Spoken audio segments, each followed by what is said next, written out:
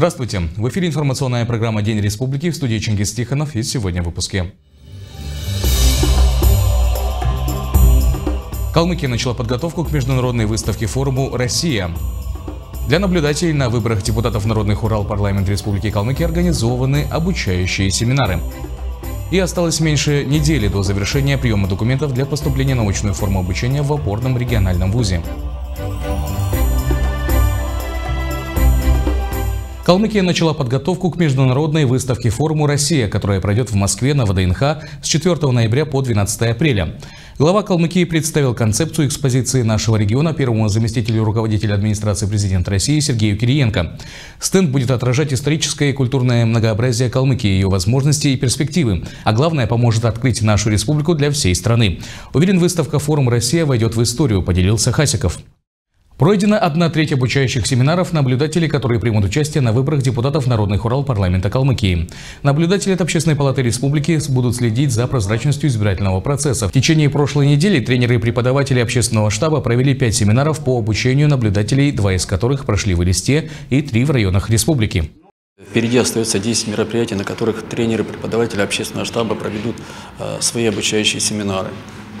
Взят хороший старт и интенсивность обучения, позволяющая в течение одного месяца провести обучение э, общественных наблюдателей на высоком уровне. И роль наблюдателей непроста. Долг каждого общественного наблюдателя перед обществом превращается в обязанность. На, на, на избирательном участке э, наблюдатели должны быть до открытия э, избирательных участков, э, присутствовать при э, э, пломбировании урн и впоследствии следить за нарушениями и принимать жалобы от избирателей. После прокурорской проверки должностное лицо освобождено от замещаемой должности муниципальной службы. В рамках проверки сведений о доходах, об имуществе и обязательствах имущественного характера муниципальный служащий администрации города Элисты необоснованно задекларировала в качестве дохода денежные средства, происхождение которых в последующем подтвердить она не смогла. Более того, ею в этот же период разрешались обращения одного из предпринимателей об участии в ярмарках товаров на территории города. В нарушении закона она меры по уведомлению своего работодателя или органы прокуратуры о склонении предпринимателем ее к совершению коррупционного правонарушения не предприняла, совершив в итоге коррупционное преступление. Следственным органом в отношении нее было возбуждено уголовное дело по факту получения взятки от предпринимателя за предоставление площадки для проведения ярмарки. Жительница Городовиковского района перевела более 1 миллиона рублей мошенникам, которые представились сотрудниками банка. Полиция Калмыкии регулярно рассказывает об уловках злоумышленников, формах и методах психологического воздействия. Несмотря на профилактику, граждане, теряя внимательность, верят и отдают свои сбережения злоумышленникам. Сотрудники правоохранительных органов напоминают гражданам быть более бдительными. 17 июля 2023 года в МО МВД России Городовиковский обратилась женщина, сообщившая о факте мошеннических действий. Женщина пояснила, что на протяжении трех дней с абонентских номеров с ней связывались сотрудники банка и правоохранительных органов. Собеседники убедили пострадавшую пенсионера обезопасить денежные средства и перевести их на безопасный счет. В результате чего, не проверив поступившую информацию, она лишилась 1 миллиона 75 тысяч рублей. Вскоре осознав, что с ней связывались мошенники, женщина обратилась к сотруднику полиции. По данному факту возбуждено уголовное дело по части 4 статьи 159 Уголовного кодекса Российской Федерации. Будьте осторожны, в случае поступившей подозрительной вам информации, прервите разговор и незамедлительно сообщите в полицию. Осталось меньше недели до завершения приема документов для поступления на очную форму обучения в опорном региональном вузе. Последний день 25 июля, а конкурсные списки будут опубликованы 27 июля. О том, как проходит приемная кампания в нашем следующем материале. Энгель Мучеряева со школьной скамьи решила, что учеба для нее на первом месте. Именно поэтому Элистинскую школу она закончила с золотой медалью. Сейчас у нее в планах поступление в Калмыцкий государственный университет. Сейчас можно заметить, что студенты используют все возможности, предоставляемые университетом. Помимо получения грантов на внедрение научных проектов, повышенных и именных стипендий и программы двойных дипломов, в ВУЗе можно изучить иностранный язык. Я выбрала КГУ, потому что я знаю, что КГУ сотрудничает с вузами Китайской Народной Республики и отправляет своих студентов на стажировку туда. Также КГУ является одним из основных университетов, которые хорошо преподают китайский язык, э, это меня заинтересовало. Я долго советовалась со своей семьей, все говорили, почему бы и нет, и раз ты хочешь, и все настаивали на этом. На сегодняшний день в Калугу на все формы и уровни обучения на 1239 бюджетных мест подано 4708 заявлений. Большой популярностью по-прежнему пользуется направление юриспруденция 16,5 человек на место, государственное и муниципальное управление 12 человек. КГУ решил поступать, потому что э, здесь есть направление, которое мне нужно, я хочу сказать, и недалеко. Мне, в принципе, нравится здесь. Подал я на ФИТ, фундаментальная информатика и информационные технологии. Долго думал, хотел поступить в, в Питер, но что-то не срослось. Но я ни о чем не жалею. Обширная география абитуриентов, представители 41 региона России и 10 стран ближнего и дальнего зарубежья подали документы в приемную комиссию вуза. Для ребят из сельской местности и для родителей, в первую очередь, принципиально важно стопроцентное предоставление места у нас в наших студенческих общежитиях мы предоставляем. Конечно, у нас именные стипендии и повышенные стипендии. А, что очень важно, еще один момент – ведь э, формируя модель или образ нашего выпускника, нам очень важно его дать возможность нашему выпускнику, нашему студенту, потом уже нашему выпускнику, чтобы он как можно большими компетенциями овладел. Поэтому мы предоставляем нашим студентам получение, э, а точнее изучение дополнительных иностранных языков. Как отмечает ректор вуза Бадмас Алаев, главная задача университета – создать условия для того, чтобы этими возможностями могли воспользоваться максимальное количество студентов. Поэтому опорный вуз республики развивается и растет с каждым годом. Алтана Конова, Владимир Цугленов, информационная программа «День республики».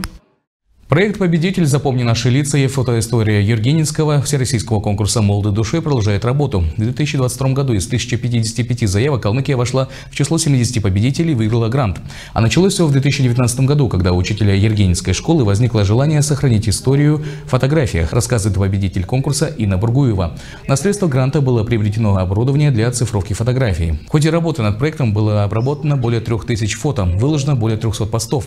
За короткий срок проект набрал тысячи просмотров просмотров в социальных сетях. Жители поселка и живущие в России за границей выходцы из села дали огромный отклик и стали делиться фотографиями.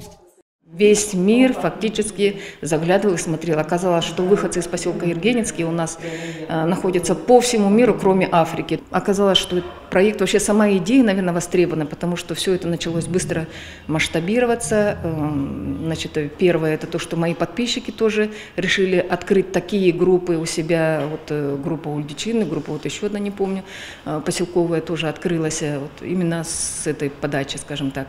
Дальше у меня Эм, в общем-то, родственники мужа сказали, почему вот по поселку Ханата, например, нет такой группы. Начала вести группу по поселку Ханата. Потом в ходе работы над проектом вышла на фотоархив, э, значит, выход из Ергенинского. Э, Толстого, он молдаванин, пришел по городовиковскому призыву солдат и работал долгое время фотографом в районной газете. Оказался очень большой фотоархив и создала новую группу, это Киченеровский район, глазами Толстого Григория Константиновича. Старые фотографии – самые ценные семейные реликвии. Практически в каждой семье они хранятся и передаются из поколения в поколение. В рамках проекта восстановлено более 100 данных жителей поселка Иргенинский довоенного и послевоенного периода. Привлечено 50 серебряных волонтеров для проведения работы по сохранению и оцифровке семейных архивов жителей села, подготовки собранных материалов. Проведено 5 викторин и 5 квестов по истории поселка, организованы встречи со школьниками и жителями поселка. Какой вклад они внесли в развитие поселка, в развитие республики, не только одного поселка. Вот школа, вот дети, вот директор совхоза Тюрьмов Анатолий Чонович. В те годы, когда еще детские годы, э, у нас в поселке почти все мужчины были участниками войны, почти все. Но сейчас там уже никого не осталось, но память о них сохраняется благодаря вот этим фотографиям.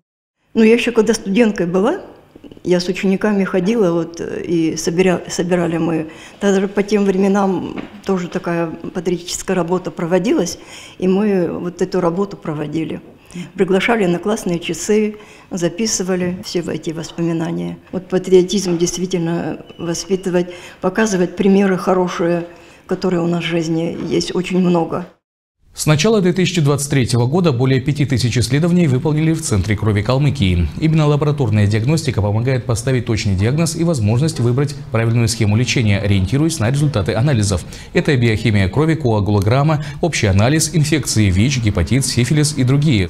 Наша лаборатория на постоянной основе участвует в федеральной системе внешней оценки качества клинических исследований, что позволяет обеспечивать достоверность и точность нашей работы. В настоящее время мы заметили высокую сознательность населения, и лабораторная диагностика дает 80% информации для постановки правильного диагноза. Призываем регулярно обследоваться. Полное обследование вы можете пройти у нас.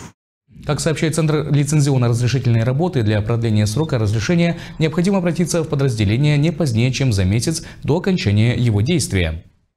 Очередной плановый рейд провели сотрудники Республиканской госавтоинспекции в Экибрульском районе. Подобные проверки проводятся каждые выходные дни практически во всех регионах России.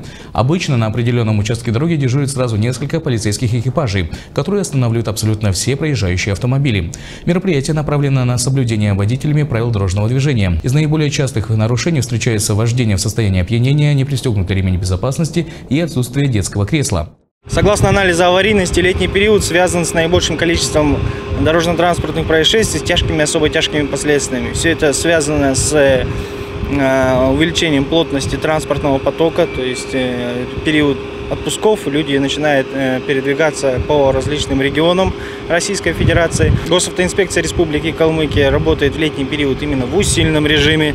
Проводятся рейдовые мероприятия как на автомобильных дорогах федерального значения, так и на дорогах регионального значения. Рейдовые мероприятия носят условное название «сплошные проверки», то есть проверки подлежат все транспортные средства, э, Связано данное мероприятие с выявлением грубых нарушений правил дорожного движения. С начала текущего месяца на дорогах республики зарегистрировано свыше 12 дорожно-транспортных происшествий. В связи с этим в регионе проведено 7 подобных широкомасштабных рейдовых мероприятий. Инспектор остановил, вежливо подошел, вежливо попросил документы. Приятно, когда инспектора вежливые. Спасибо. И то, что они вот именно предотвращают нарушения, это тоже, наверное, да, безопасность дорожного движения прежде всего.